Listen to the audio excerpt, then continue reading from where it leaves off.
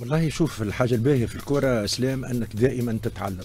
أنا بعد خمسين سنة كره تعلمت اللي ثم dispositif tactique جديد هو لو 4 4 1 4 4 1 معناتها كيفاش جمعية 4 4 هكا ناقصين. 4 4 1 معناتها كيفاش جمعية تلعب ب 10 لاعبين لأنه مساكني ما كانش موجود البارح في المباراة. الحاجة الثانية ما نعرفش كنت تتذكر معناتها المرة الأخرى بعد ماتش السودان تكلمنا قلت لك أهم شيء من من من أهم الأشياء أنه يلزمنا نعرفوا بصفة نهائية مش أنا برك الفريق الوطني أيضا والمجموعة والفريق يلزم يعرفوا شكون حارس المرمى الأول. باش ما نتيحوش في الأخطاء. تعرف في كأس العالم الأخيرة وفي كأس الإفريقية الأخيرة ومعز حسن يلعب إحنا ما يلعبش والاخر فضلوا على هذاك.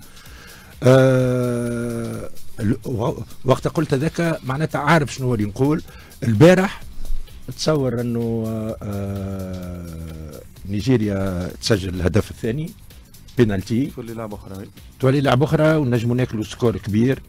آه الواحد واحد مش حاجة خارقة العادة وقعدنا معناتها مباراة كاملة معناتها تو نحكيو بعد معناتها في الدفاع.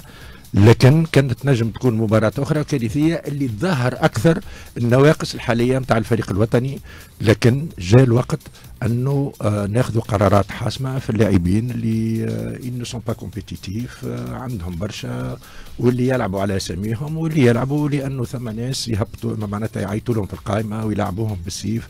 آه بعد إحنا المباراة الأولى ونكمل بعد المباراة الأولى تصورنا أنه المساكني مش يكون على الأقل برناك لا المرة هذه يلعب من الأول للاخر ما يلعب من الأول للاخر ما يخرج إلا ما يهز يده هو يقول أنا مضروب هو مش مضروب لأنه ما عادش ينجم حتى المشيان على الملعب ما كانش معناتها في الأخر ما عادش ينجم حتى يمشي.